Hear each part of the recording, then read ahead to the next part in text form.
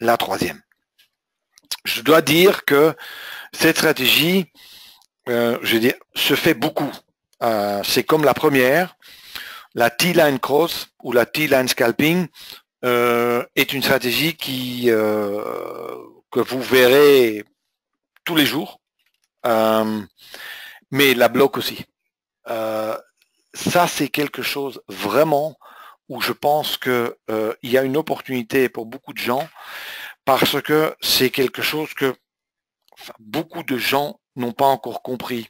C'est qu'il faut essayer de voir ou de trouver des trades quand le marché temporise, ne bouge pas, et c'est se positionner à ce moment-là, et pas quand le marché court. Je sais qu'intuitivement, les gens courent derrière un trade où ils voient qu'un trade bouge dans un certain sens et on a le, comment dire, la volonté de courir derrière, où on, voit, enfin, euh, le mouvement et intuitivement on veut rentrer là-dedans, ce qui n'est pas toujours, on reviendra là-dessus, ce qui n'est pas toujours intelligent, mais, et le bloc scalp, quelque part, c'est un peu le contraire. Maintenant, je vais de nouveau d'abord vous expliquer la philosophie derrière cette stratégie. Tout d'abord, faisons la distinction entre un range et un bloc. Un range, c'est ça.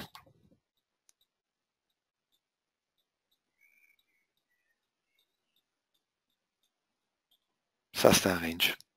Vous voyez? Ça arrive souvent dans les marchés. Hein. voilà, on a des ranges. Euh, c'est rare. Euh, je connais peu de traders qui sont capables de réellement faire de l'argent là-dedans. Souvent aussi, on voit des ranges euh, quand ils sont déjà bien en cours. Hein, c'est pas facile. et mais ça, c'est un range. Cette stratégie s'applique pas sur des ranges. S'applique uniquement sur des blocs. Mais un bloc, c'est quoi? Un bloc, c'est ça. Bougie, encore une bougie, encore une bougie, encore une là, par exemple, une là, une là. Vous voyez, c'est un, je dirais, mini range où vous avez minimum 5 à 6 bougies qui vont se superposer. Ici, j'en ai 6, vous voyez. Et si je trace la ligne là, et je trace la ligne là, vous avez un, un pardon, vous avez un bloc. D'accord? Et ça, c'est une opportunité. Pourquoi? Parce que on sait, il peut pas rester là-dedans. D'accord?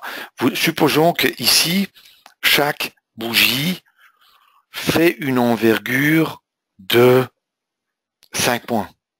Ça veut dire que le range ici, ce sera maximum, allez, disons 10 points. D'accord? Si vous êtes sur le DAX, par exemple, c'est impossible qu'il reste dans ce range. Et tôt ou tard, il doit sortir. Et le fait qu'il a été comprimé, qu'il est dans un squeeze quelque part, si vous voulez, tôt ou tard, il doit sortir de là. Et là, il y a une opportunité pour nous pour entrer et surtout là où est réellement l'opportunité. C'est pas de dire ah euh, enfin c'est ce qu'on dit on me dit toujours oui euh, et là euh, on est sûr d'être dans le bon sens aussi et là. Non pas vraiment. Enfin, vous verrez comment on, on l'applique.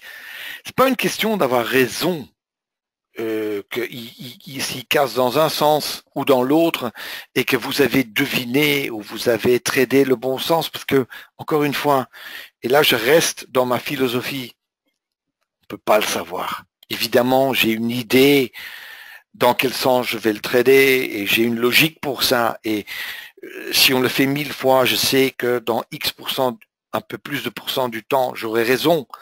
Mais en réalité, chaque prochain trade, je ne le sais pas. La seule chose que je sais presque avec certitude, pas certitude, mais avec quand même avec une, grande conviction, c'est que quand je risque 10 points ici, s'il sort de ce squeeze, je peux gagner 30 points, 40 points. Et c'est ça le business model dans lequel on est. C'est ça qu'un trader fait. Un trader cherche des moments, des opportunités où il risque 10 cm pour gagner 40 cm. C'est aussi simple que ça. D'accord? Bon, maintenant, mettons ça en pratique. J'enlève ça. Voilà. OK. Bloc scalp. Toujours la même chose. Toujours la même chose. Mêmes indicateurs, même ligne. Toujours la même chose. Et maintenant, qu'est-ce que je veux? Ben, Je cherche ces fameux blocs. Et on va le faire maintenant sur ça. On le fera, comment dire, visuellement. Mais pour ça, je reviendrai sur l'indicateur, l'outil qui va vous aider avec ça. Mais franchement, euh, et ceux qui viennent en formation live euh, pendant 4-5 jours, à partir du deuxième ou troisième jour, ils commencent à voir les blocs. Euh, parfois, on en va beaucoup trop. c'est un problème aussi, mais c'est quelque chose vraiment euh, que on commence à voir à, partir d'un certain moment. Et vous, le verrez aussi, vous verrez des blocs sur des, des graphiques de 5 minutes aussi, ou de 60 minutes aussi. Parce que des blocs, il y en a partout. D'accord? Nous, on va les appliquer ici sur des, des envergures, mais ces périodes de squeeze ou de, où le marché ne bouge pas, on les trouve dans toutes les unités de temps aussi. D'accord? Maintenant, comment on va trader euh, cela? Ben, euh, Comme toujours, je trade uniquement dans le sens de la tendance. C'est-à-dire ici, l'arrière-plan est gris. Vous voyez? Gris, hein? Ça veut dire que ici, c'est baissier. Comment je fais? Et c'est, on le fera en pratique encore après, mais je regarde ici le bloc. Supposons que ce bloc, il fait 4 cm. D'accord?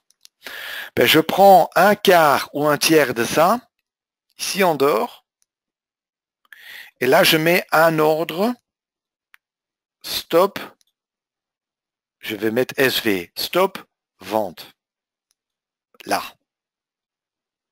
pour entrer short. Aussi simple que ça. Ici, vous avez la même chose. Vous avez un bloc qui se forme. Vous avez l'arrière-plan ici qui est blanc, ça veut dire haussier. Je prends ici, là environ, ça fait 3 cm. 1 cm en dehors de ce bloc. Je mets mon ordre. Stop. Achat voyez? Voilà. Et là, je rentre. Même principe, parce que mes stops, mes objectifs sont pré-paramétrés. Ça veut dire que quand je vais rentrer en position, automatiquement, ils se mettront en place. D'accord? Aussi simple que ça, et on gère euh, en conséquence. La seule chose, je dois vous dire, astuce,